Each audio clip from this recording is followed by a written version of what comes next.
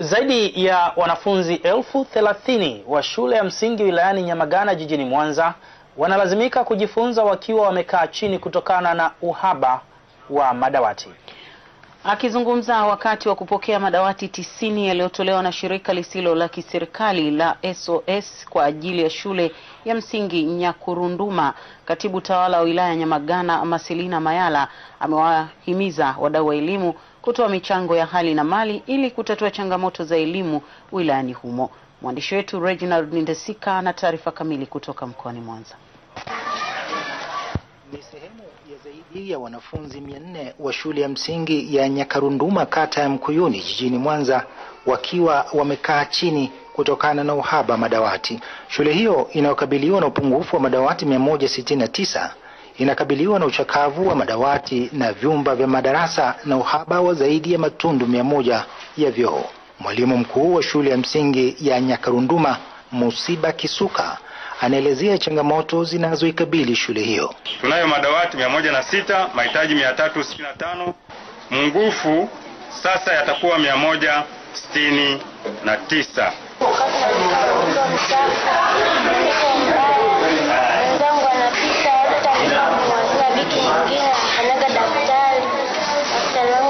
Tanganyika.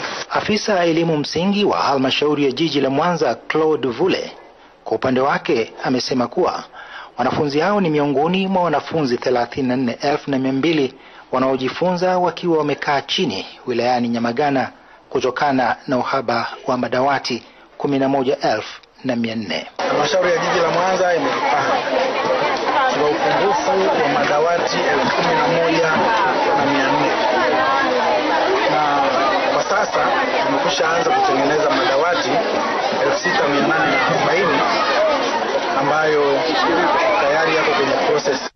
Uhaba wa madawati unaoikabili shule ya msingi ya Nyakarunduma umeligusa shirika lisilo la kiserikali la SOS ambalo kupitia mradi wake wa kuimarisha familia tayari limekabidhi madawati tisini.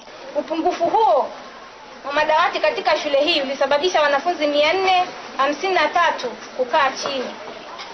Hii ilikuwa inaathiri usomaji wa wanafunzi kwa kiasi kikubwa. Hivyo basi, kwa msaada huu wa madawati tisini utawezesha wanafunzi wengine mia mbili sabini kukaa kwenye madawati na kuongeza idadi ya wanafunzi wanaokaa kwenye madawati sasa kufikia mia sita sitini. Madawati hayo yenye thamani ya shilingi milioni tisa yamekabidhiwa kwa katibu tawala wilaya ya Nyamagana Marcelina Mayala ambaye amewahimiza wadau wa elimu kutoa michango ya hali na mali ili kutatua changamoto za elimu. Changamoto ya miundombinu katika halmashauri yetu ni kubwa, kubwa, ingawa sisi tuko jiji, lakini bado tuna tatizo la miundombinu. Tunasikia kuna shida ya matundu ya vyoo,